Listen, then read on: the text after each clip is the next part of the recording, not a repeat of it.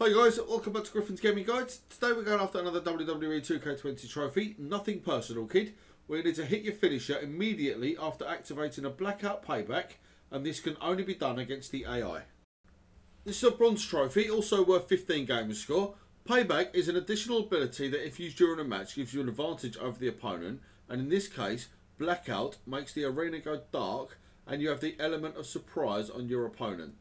From the main menu, select play, followed by 1v1 and finally normal match. Select any superstar you wish to play as and select edit payback and make sure the bottom selection is blackout.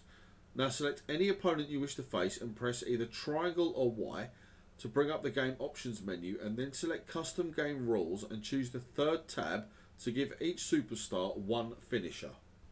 Now start the match and let the opponent beat on you until your payback icon is fully red in the bottom left hand side of your superstar info bar. When that icon is fully red, make sure your opponent is stood up and not in a groggy state as this payback uses the element of surprise. So for PS4 press R2 and triangle or for Xbox press RT and Y and the arena lights will then go dark and you will appear behind the opponent. Now all you need to do is press either square or triangle or X and Y to use your finisher and your trophy or achievement will unlock straight away.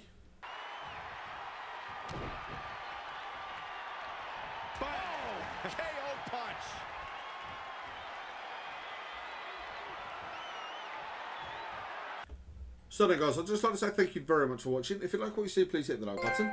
Let me know down in the comment section how you got on with the Nothing Personal Kid Trophy or Achievement. Make sure you subscribe to Griffin's Gaming Guides. After you subscribe, please hit the notification bell so you don't miss out on any of our future WWE 2K20 content. I'll see you on the next one. Take care.